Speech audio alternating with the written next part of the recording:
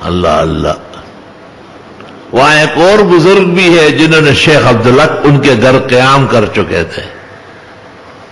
میاں میر صاحب۔ شیخ عبدالق ان کے گھر مہمان ہوئے دہلی سے آئے۔ میاں میر نے کھانا پیش کیا، سب کچھ تو شیخ صاحب کچھ کھا نہیں رہے تھے۔ فرمایا، کیا تکلیف ہے حضرت؟ کہا، تکلیف یہ ہے کہ جہانگیر مجھے کہہ رہے کہ کشمیر آ جاؤ، اب میری چورانوے سال عمر، پرانی ہڈیاں اور میرے بیٹے نور الحق کو کہہ رہے کہ یہ کابل جائے. مطلب یہ کہ دلی کی درسگاہ ختم کرے۔ میاں میر نے حضرت کو کہا کہ حضرت کھانا تو شوق سے کھا لے۔ ایک بادشاہ اور بھی ہے۔ آج اس سے بات کرتے ہیں۔ مجھے امید ہے وہ رازامند ہو جائیں گے ایک بادشاہ کو ہٹانے پر۔ شیخ عبداللہ بڑے خوش ہوئے۔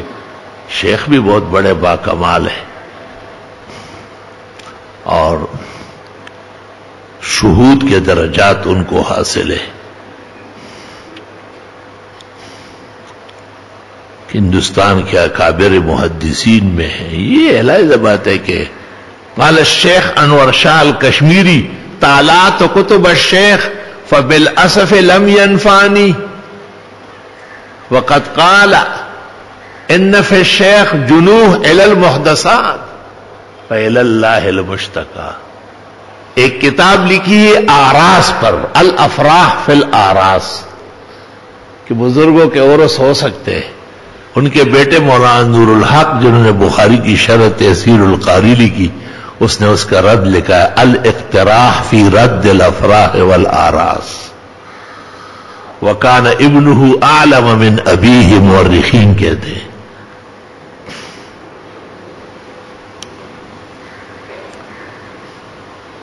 فجر کی نماز کے لیے میاں امیر نے شیخ عبدالق سے کہا، حضرت نماز پڑھا لے، کہا ذوف ہے چھوٹی صورتوں سے پڑھا لینا۔ آپ استاد العالم میں محدث کبیر ہے حضرت نے نماز پڑھا لی۔